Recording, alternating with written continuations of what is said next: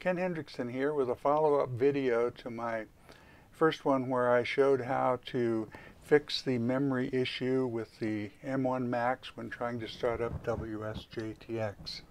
Done a little exploring, did a little straining back in my memory a few years, many years in fact, and remembered that the Apple Computer Macs have a, pro a programming language called AppleScript. So I have written a little Apple script that's going to solve the problem of this memory error which keeps propping up. With AppleScript you can actually just go in and write a few lines of very simple code and then uh, run it. And you can in fact convert that code to an application form so that you can run it as if it were an application. And here on the screen I'm showing you some of that original video and what you had to do to get your M1 Mac to run WSJTX was of course to copy and paste two lines of code into the terminal, type your password in after the first line of code, and then from there you were uh, ready to start running WSJTX. With my new solution, you will be able to start up your Mac and it will be ready to run WSJTX using my little Apple script which will be found in the show notes below and all you'll have to do is copy and paste it as I demonstrate in the video and you'll be ready to go. In case I forget to mention, the first time you run my little script or start up your computer actually, it will ask you if you really want to run ter terminal and uh, you just say yes and from then on it will work. So we're going to go off to applications using Finder and you're going to go down and find the folder that's called utilities and open that and we're going to open a program called script editor and script editor is where the pro where you're going to actually write your uh, file. You can note, see that I've already created the file, but instead of opening it here, I'm going to go as if I were creating a new file or a new document, because that's what you'll do. You'll choose to do a new document. Uh, you will then go down in my show notes and you will copy this text. Notice that it says your password, do script your password, make sure you change your password to whatever your password is when you log into the Mac.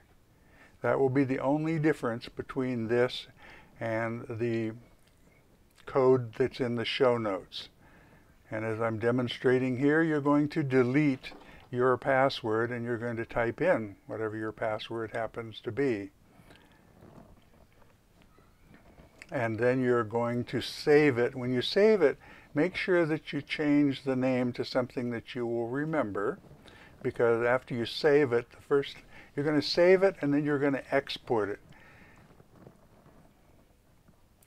And if you want to see if it works or not, you can actually run it under um,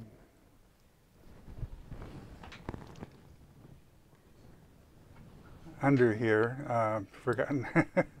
okay, so here it is. It's run.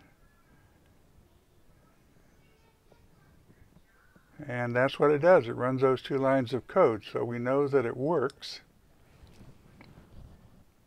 You do it under script. You just go down and choose run. Now I'm going to rename the script, or actually I'm going to give it a name. Give it a name, like I said, that will make sense to you. And I just called it the M1, or the Mac M1 fix. Uh, I'm not actually going to save it because I've already done that and you'll see if you happen to choose save, I'm, I'm going to cancel out of that. Uh, and I'm going to go up though, and you're going to go to edit, I'm sorry, file, and you're going to go down to export. And you're, instead of exporting it as a script, which is what happened when you saved it, when you export it, what you want to do is change it to an application, and all you want the application to do is run.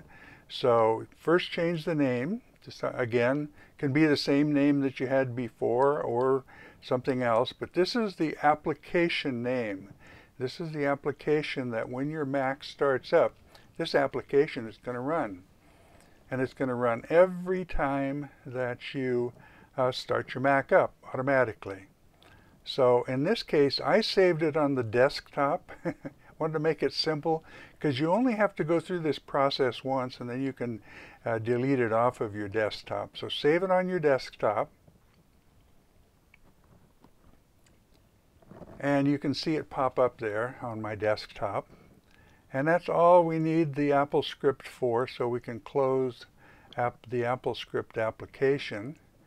And I'm going to cancel it. You could do another save.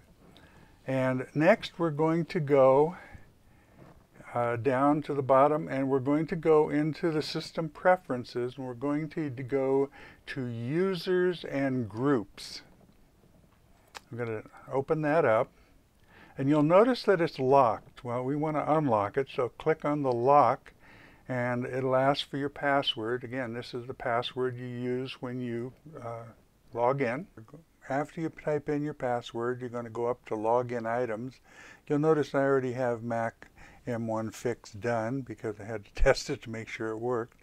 Uh, originally I saved it in applications and I would suggest you do the same thing but for the purposes of this video I saved it on the desktop. So just go to wherever you saved it on your computer. As I said I suggest you save it under applications but I saved it on the desktop. And after you find it uh, highlight it and then click that blue add button in the lower right hand corner and it will be added to your uh, startup screen. So that's all there is to it and it'll keep doing it from now on. Make sure you lock it so it doesn't get changed. Uh, and that's, that's the way it works. So what you have to do is reboot your computer just to make sure it's working. When you reboot it, the first time, as I said, it will ask you if you want terminal to run and just say OK.